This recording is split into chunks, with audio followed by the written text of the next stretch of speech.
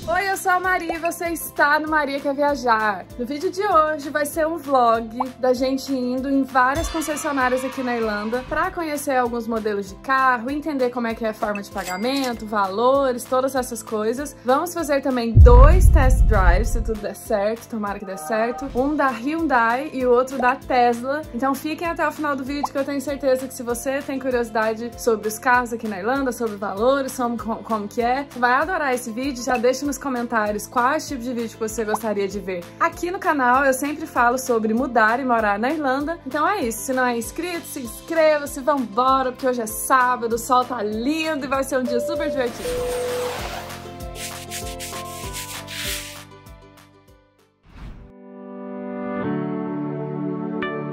De chegar aqui na Hyundai e essa região aqui, aqui é Swords, né? É. Tem, eu acho que literalmente todas as concessionárias. Então, se você tá procurando carro novo, aqui você vem, você vai achar todas. Tem Renault, tem Ford, tem. Qual é a fala mais marca de carro? Jaguar, Hyundai, Volkswagen, Nissan, Peugeot, Todas, todas tem aqui em volta. Suzuki. Suzuki, então a gente parou na Hyundai. Antes a gente marcou um test drive, porque a gente quer fazer, é, tá interessado no Ioniq 5. E aí a gente fez pelo site mesmo, e eles falaram que a gente podia vir sábado de manhã pra fazer. Então vamos ver como que funciona, valores, tudo. Mas acho que a gente vai conseguir fazer esse test drive. Tá empolgado? Demais a conta. Ah, outra coisa que eu preciso falar pra vocês é que a gente decidiu que a gente quer um carro 100% elétrico, né? Gol, gol, é, aquecimento global. Uhul. E aí, o que que acontece? A gente quer um carro 100% elétrico, então a gente vai fazer test drives hoje em carros assim. E eu vou priorizar olhar preço, forma de pagamento, como que é a questão de imposto em carros assim, tá? Então, se você tiver essa curiosidade, esse é o momento. Se te sobrarem dúvidas, deixa aí no comentário, tá bom? É um junto, que a gente também não sabe. Pô, não pode falar. Não sabe, a gente não sabe nada. É, nós estamos aprendendo junto. Esse aqui é, é um dos modelos elétricos. É, com, essa, com essa câmera é, sem ser a, a frontal, dá pra ver que o volante tá do lado de lá, né? Ah, geralmente é. o motorista entra aqui no Brasil, geralmente não, sempre, né? Mas aqui na Irlanda é do lado de lá. Nossa, olha como é bonito por dentro. Vou dar a volta pra mostrar pra vocês.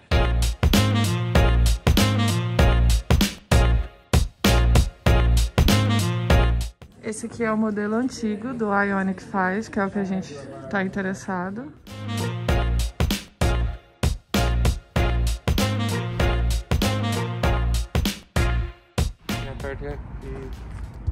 Parece que tá apanhando pra mexer. É difícil, né? Ah, Esse negócio de tecnologia. ai, que legal! Ó, Ah, mexeu ali, travado. ó. É. Agora eu destravei, vamos ver se ele abre.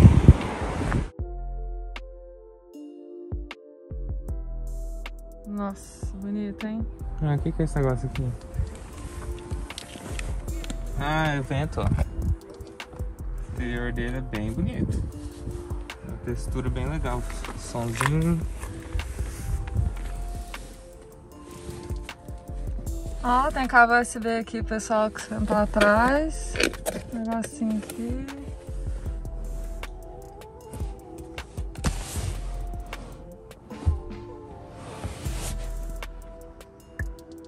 Nossa, olha o tamanho do painel. Olha aqui, amor. Tem USB pra quem ficar atrás. Ah, legal, hein? Tem que pensar nos amigos já, né? Claro.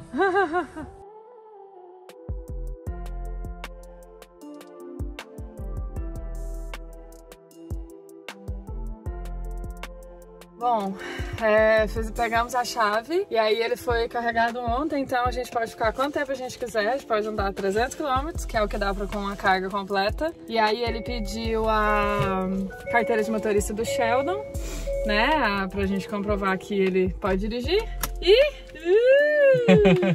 Gente, aleluia! Num carro que a garrafinha fica em pé. Pelo menos os carros que eu já andei, quando você coloca, você coloca deitado, né, a garrafinha. Aqui a gente tem os botões para ajustar os retrovisores, o da esquerda e do direito, left and right. E aqui você é, esconde os retrovisores para evitar um carro passando arranhar, quer ver? Ó? E aí na hora que você sair, você pode apertar de novo, ele abre. E aqui você trava as portas. E aí por fora não abre, né? Quando for aqui você destrava as portas. É bem padrão hoje em dia os carros terem esses quatro aqui. Esse aqui é a primeira vez que eu vejo. E o controle das janelas, né, dos vidros. Isso, aqui eu consigo controlar as quatro janelas. E esse último? Esse aqui parece que trava ou destrava, não entendi ainda muito bem. Ah, salvo engano, trava as de trás, se você não consegue Hum. descer as de trás. Pra criança, né, geralmente, esse tipo de controle.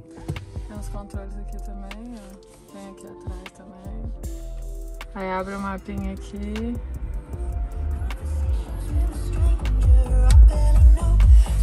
Aqui tem um espaço grande. Nossa, bem que o copo é bem na frente. Ah, e aqui é vazio, ó. Olha aqui, tem um espaço aqui, ó. Ah, é. Não tem nada aqui, ó, meu pé, indo lá no chão. Nossa, bem legal. Que da hora. Ah, aqui tem um negocinho. Vamos ver o que tem aqui dentro. Embaixo tem mais espaço. Tem bastante espaço pra guardar coisa, né? É, eu sou acostumado com um carro é, manual, né? Então, o carro é, au- elétrico, ele vai ser automático. E aí são os quatro modos, né? Drive, Neutral, Reverse, Parking. Então, parking é parado, né? Estacionado. Drive, dirigindo.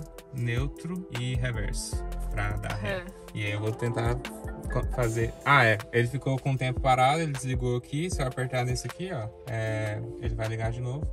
E eu tenho o painel aqui todo acendendo. Então partiu? Ready to start driving, vamos ver. Nossa, não faz barulho nenhum. Cuidado, amor, pelo amor de Cristo. Nem comprou o carro ainda. Nossa, mas é, é muito mais é, macio que volante hidráulico. Que já era incrível, né? Ah, Lembra quando a gente teve volante hidráulico pela primeira vez? Eita! nossa, a resposta é muito boa. Ó, parado. Agora eu vou soltar, olha aqui no, no, no quilômetro. Vou soltar e agora eu vou acelerar.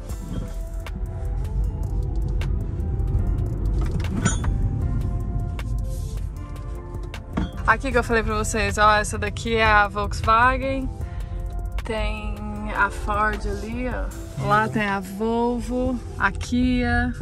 Aqui tem todas as concessionárias. Aí logo ali na frente tem uns negócios de casa, ó, Home Store More, tem a Nissan aqui do lado. Então aqui você encontra tudo. Você vem aqui pra essa região, você consegue em todas as concessionárias. Olha lá, ali na frente você tem a Peugeot. Aí, ó, Peugeot.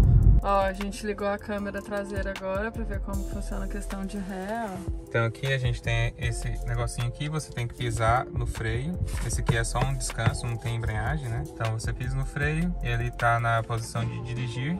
E eu posso ou colocar neutro, aí eu acelero, não faz nada. E se eu colocar no reverse, ele vai dar ré. E eu consigo ver na câmera ali, ele dando ré. E aí se eu quiser ir pra frente, eu jogo aqui pra frente também.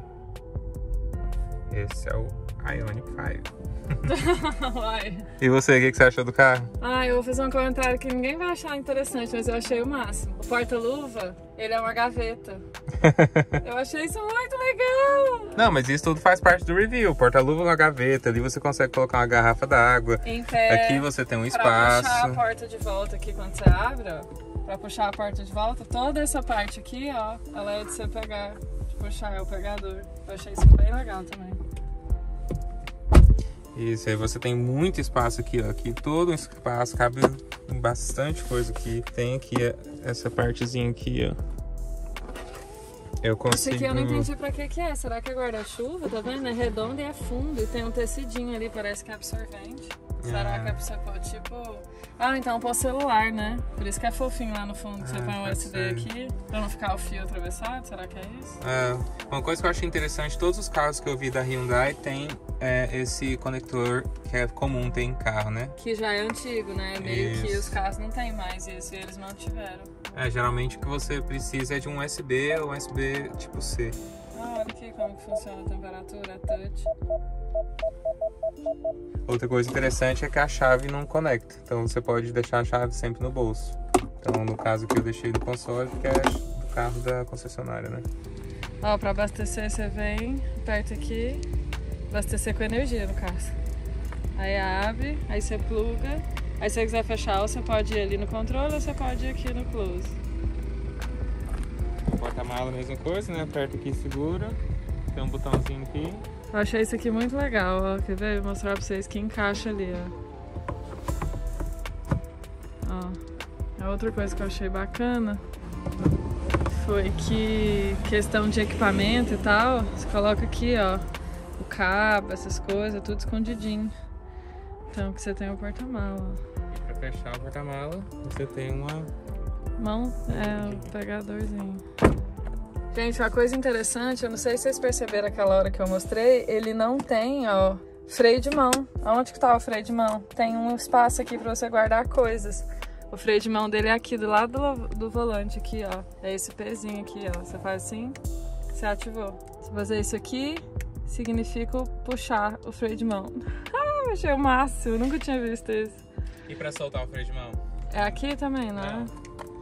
Quando você muda aqui o tipo de, de modo, você já solta o freio de mão, porque é tudo elétrico, é tudo automático. Ah, tá. Outra coisa que eu achei legal é que esse painel de auxiliar aqui é o mesmo, tá vendo? Ó, só tem um intervalo aqui, mas é o mesmo painel que fica aqui quando você vai ver as coisas.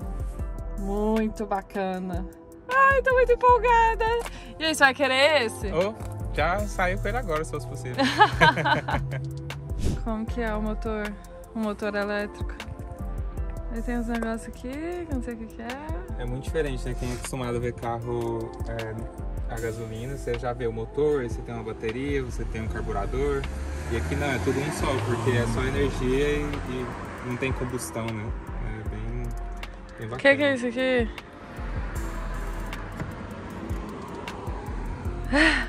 Você guardar, isso aqui é mais um storage. Ah, então provavelmente o motor é embaixo do carro. É. A gente pensando que era o motor, gente, na verdade é no storage. Elas podem guardar coisa que eu acho, né? Eu não tenho certeza. Só puxar, né? Fechado.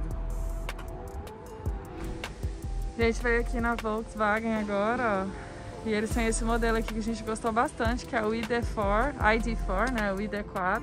E olha, é diferente do outro, ó. Você pode ver que o painel aqui é menor. E aqui, ó, pra ficar dentro do volante. A gente achou que ele é mais moderno que o Ioniq, é porque as entradas é USB, ó. Olha lá, USB-C. Que já é a entrada do... Nova, né? Que vai ser não é USB igual o outro. Mas assim, um detalhe, né? Mas.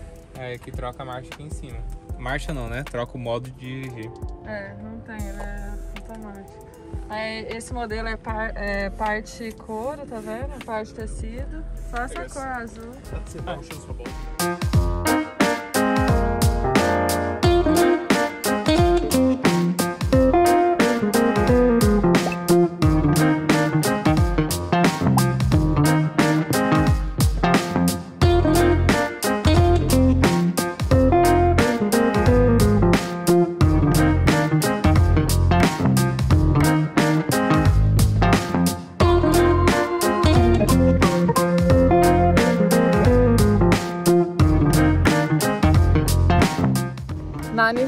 modelo de carro elétrico deles é o Leaf. Inclusive esse aqui é o modelo antigo. É, então, assim, a gente foi nas outras concessionárias, vou colocar a imagem aí pra vocês do site e dos, dos documentos que eles entregaram pra gente com os valores e tal. E assim, todo mundo que a gente viu, todas as marcas que a gente viu de é, os modelos de carro elétrico, você tem que encomendar o carro agora e você só pega o carro daqui 4, 5 meses, ou seja, janeiro, fevereiro. Isso me deixou um pouquinho assim, porque eu já queria o carro agora. Mas, assim, a gente nem escolheu vai continuar, isso é bom que dá tempo da gente pesquisar estudar e etc. É isso, a gente tá empolgado com a nossa pesquisa. Vamos, vamos ver aqui, que acabou de chegar aqui na Nissan. Como que fala Nissan, amor? It's a Nissan.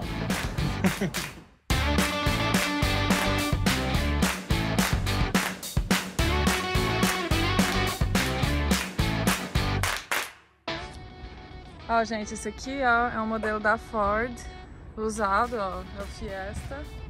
Semi-novo, né, na verdade. Aqui já tem o Skoda. Volkswagen. Volvo.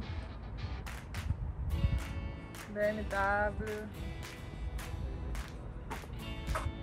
Peugeot. Pessoal, tá vendo esse símbolo aqui, ó, Toll? A M50 é uma rodovia aqui na Irlanda. E aí é, você tem que pagar uma taxa quando você passa por ela. E como o carro é alugado, tá vendo? Tá até aqui, ó, dizendo que as, todos esses, esses pagamentos vão ser endereçados na nossa casa pra gente poder pagar depois. É como se fosse, como chama lá no Brasil? Tem isso também quando você tá viajando? Sem parar? Ah, acho que sem parar também. É pedágio. Sim, é pedágio. É, esse, esse dinheiro que a gente tá dando é um pedágio, né? E aí esse seria como se fosse o sem parar, só que aí a gente vai passar aqui, eles vão pegar o registro É. da casa, Não, ó. eles, eles pegam o registro da placa, você entra naquele site inflow.ie e aí você paga lá. E se você não pagar, você recebe uma multinha em caso bem delícia. não é delícia não.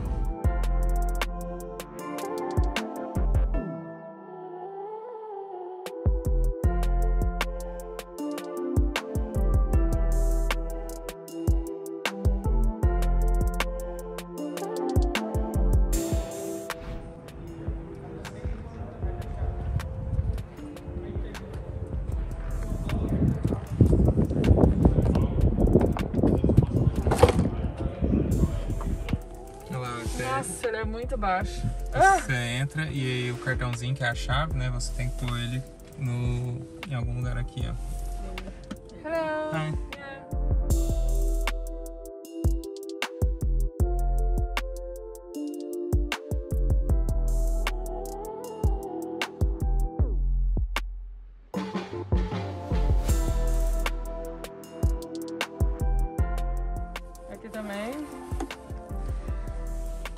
É mais sofisticado que o Ionic, né? Comparando com o Ionic, ele é mais chique. É, Ah, fecha sozinho.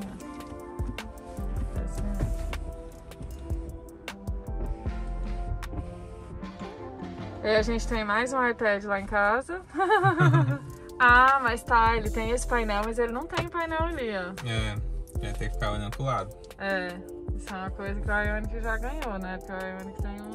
Ou não, às vezes eu costumo olhar pro lado também. Ah, aqui, ah, aqui, ó, essa bolinha aqui, eu acho que é pra carregar uma bolinha aqui, ó. Vamos testar? Vamos. Não. Não? É assim. Ó. Então eu posso carregar o celular aqui e aqui também, vamos ver. É, eu já Aí também, ó. Dá pra pôr os nossos dois celulares pra carregar. Tá bom, gostei desse carro. é por isso que esse carro aqui não tem botão. O outro, botão não, as entradas. O outro tinha várias entradas. Esse aqui não precisa, que é o wireless. E aí, o que mais? Os comandos, vamos ver. então aqui você tem pra dar ré pra cima. O neutro é aqui já. Acho que. Ah, o neutro aperta aqui, né? E pra você andar pra frente é pra baixo. E aqui você aumenta o volume. E esse outro aqui, não sei o que é.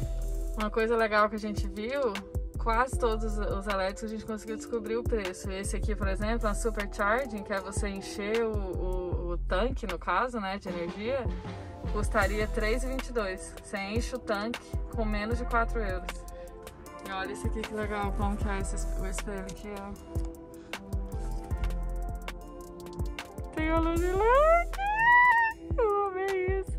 A pegada desse carro é bem diferente da do Ioniq, né? Ela é bem clean, ele só tem isso aqui, tudo Mais tá nada. aqui dentro e mais nada. Então, a gente não descobriu ainda nem como é que abre aqui, porque deve ser em algum lugar aqui, né?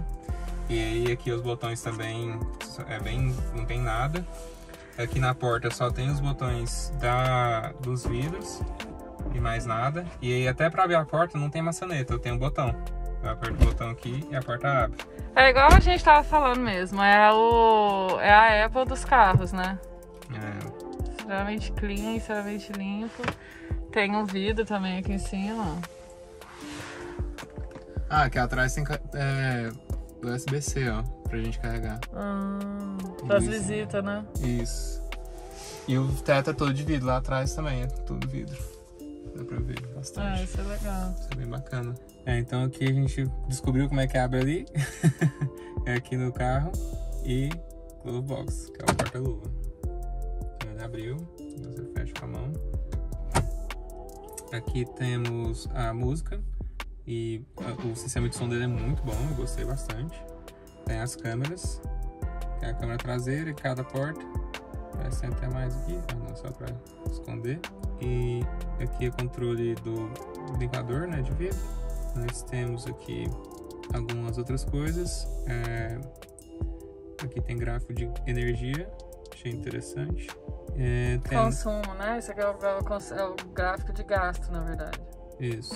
É, e aqui tem até um, um navegador para você acessar a internet. E tem também alguns jogos pra você jogar enquanto dirige. é, rapaz. É. E aí você tem também uma toolbox. E o que eu achei mais interessante é esse aqui, o Romance. Pra você fazer um romance dentro do carro. E aí começa a esquentar o seu pé e tem uma fogueirinha no iPad. Que não é um iPad, Sheldon tá enganando vocês. E aí pra sair, era pra ser aqui, ó. Ah, saiu. E aí você consegue fechar aqui, temos essa visão. E é basicamente isso. E aí, gente, o que vocês acharam dessa primeira análise do Tesla? Eu ainda tô com meu coração ainda no Ionic. Vamos ver, vamos chamar o vendedor e tirar algumas dúvidas com ele para pensar mais. Esse aqui é o modelo 3, né? Isso.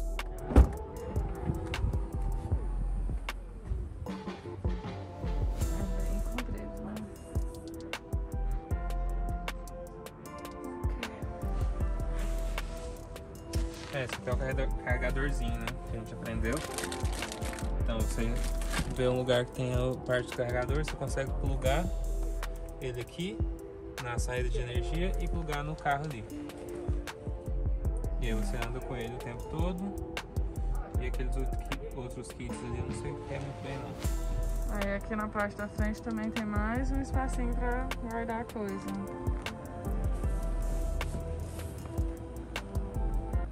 Modelo a Tesla ele tem as opções de autopilot, de autopiloto. E aí você desce o volante um pouquinho e chega o banco mais para trás. E aí o carro dirige sozinho, teoricamente.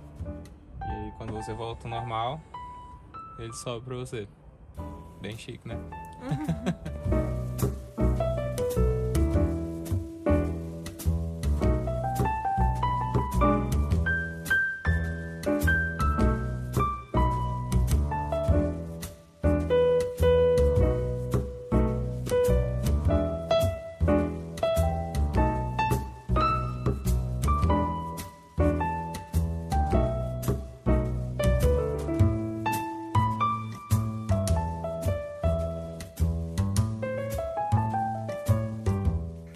resumo, gente, o modelo que a gente mais gostou, com as especificações e tudo, a gente teria que dar nesse cenário aqui uma entrada de 10 mil e dividir o restante em 60 meses, seria uma parcela de 726 euros por mês.